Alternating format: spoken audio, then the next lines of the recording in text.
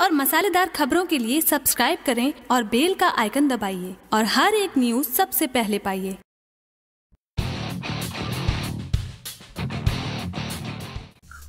भोजपुरी फ़िल्मों के सुपरस्टार पवन सिंह एक ऐसे सुपरस्टार हैं जिनकी फ़िल्में हमेशा भोजपुरी बॉक्स ऑफ़िस पर रिलीज़ होते ही अपने पुराने फ़िल्मों का रिकॉर्ड तोड़ती है तो वहीं नए रिकॉर्ड भी बनाती है। पवन सिंह की पर्सनल लाइफ की बात करें तो पवन सिंह हमेशा अपनी लाइफ को लेकर सोशल मीडिया में के साथ साथ भोजपुरी फ़िल्म इंडस्ट्री में भी चर्चा का विषय बने हुए रहते हैं। अब मीडिया में ये खबर भारी मात्रा में उड़ाई जा रही है कि सो पवन सिंह जल्द ही तीसरी बार दूल्हे बनने की तैयारी कर रहे हैं। जी हाँ पवन सिंह तीसरी बार असल ज़िंदगी में शादी करने जा रहे हैं। आपको बता दें कि सुपरस्टार पवन सिंह पहली शादी काफ़ी दिन पहले हुई थी, जिससे उनकी तलाक हो गई थी और दूसरी शादी अपने बड़े भाई की साली से उन्होंने शादी की थी। शादी के दो महीने के बाद ही पवन सिंह की बीवी नीलमा ने आत्महत्या कर लिया था। उसके बाद से पवन सिंह ने अभी तक शादी नहीं किया है। लेकिन अब मीडिया में यह खबर आ रही है कि पवन सिंह जल्द ही किसी एक्ट्रेस के दूल्हा बन जाएँगे। आपको बता दें कि अभी तक पवन सिंह की तरफ़ से या पवन सिंह की फैमिली की तरफ़ से कोई आधिकारिक सूचना अभी नहीं मिल पाई है। लेकिन जिस हिसाब से मीडिया में यह खबर आग की तरह फैली हुई है,